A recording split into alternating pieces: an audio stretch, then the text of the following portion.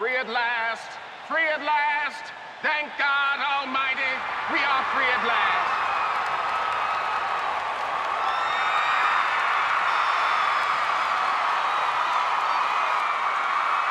Ladies and gentlemen, please welcome your next speaker, the Reverend Robert Jones.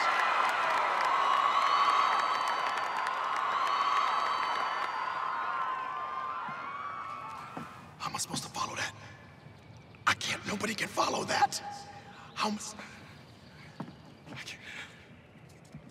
Oh. All right.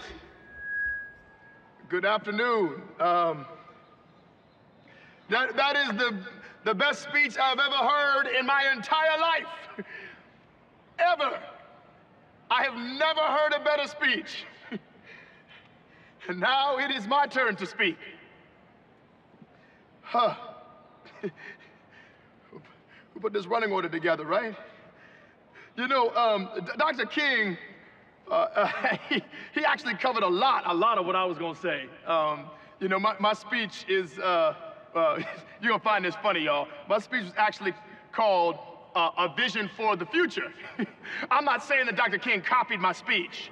I'm, no, no, I'm, I'm saying I'm not saying that. I'm not saying he tried to copy it.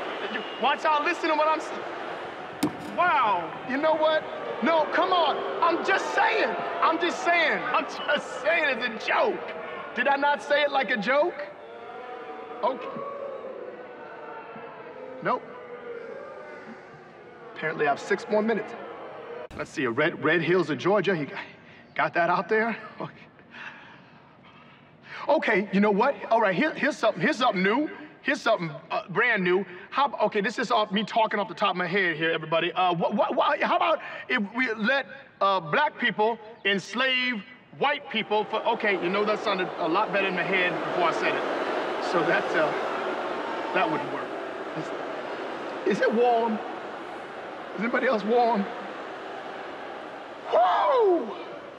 Okay, okay, okay, here's what we're gonna do. Here's what we're gonna do. All right, Dr. King talked about um, uh, all the races coming together, right? Right? So what I want every Negro to do here today is find the nearest white person and give them a hug.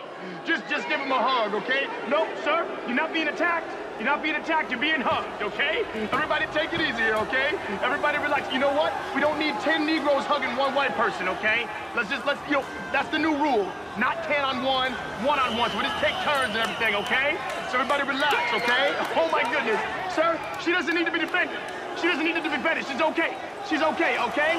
All right, sir, ma'am, okay. Officer, is that necessary? I don't think that's necessary, officer. No, ma'am, please, please take it easy, sir. Gotta really take it easy, all right?